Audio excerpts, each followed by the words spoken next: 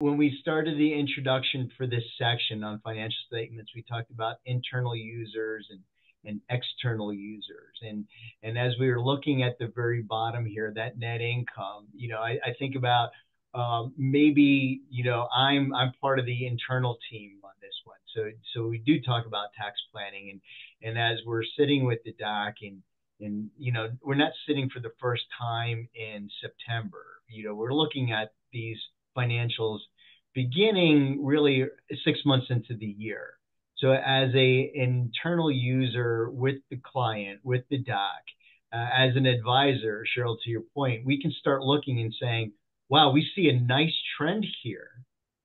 And we need to be thinking about a, a, handful of things that we can do to either either mitigate that tax liability, and or if there isn't much more we can do, you know, we're going to be in a situation where you're making more money. There's only so much we can do to limit that tax liability. We need to be thinking about setting money aside to either prepay some of that tax burden or have that ready when we file. Should should things change in the last quarter and we may not find ourselves in that same situation, but but clearly a client that's performing this way is likely going to go in the fourth quarter still performing this way. So let's make sure we're adequately funding that tax liability either through wages or estimated tax payments. Um, and, and, and, you know, when we talk about Rachel and the valuation role, and we, again, we talk about internal versus external users, a lot of times Rachel and, and Rachel and Ke- Kelly are looking at these financials as external users with the bank and we're mm-hmm. looking at these with a banker who's looking to potentially finance uh, a potential sale.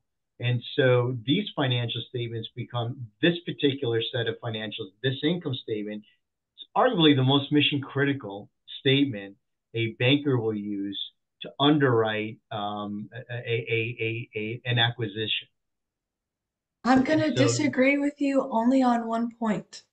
Okay. This income statement does not take into consideration discretionary spending. So right. an adjusted or normalized yeah. income statement right. and, is gonna yeah yeah the adjustments coming out you know so if there was a lot of travel in here that may be pulled down a little bit the meals and entertainment may be pulled out a little bit right it can it, sure. it can it can change a situation yeah Discretionary meaning expenses being too small or expenses being too big. It can go either way. And, and Rachel, when we get to the valuation section of this next month, we'll actually go through kind of the, the, the columns that you see and say, here's what you've reported, Doc, year over year over year. Here are the things that we're making adjustments for. We whatever they may be, whether they're up or down. And the purpose of today's conversation not to go into that deep dive on that side of it, but clearly when we get into the valuation side of this, one of the chapters in Norton's book, we, we do want to pay a lot of attention to that particular process, of course.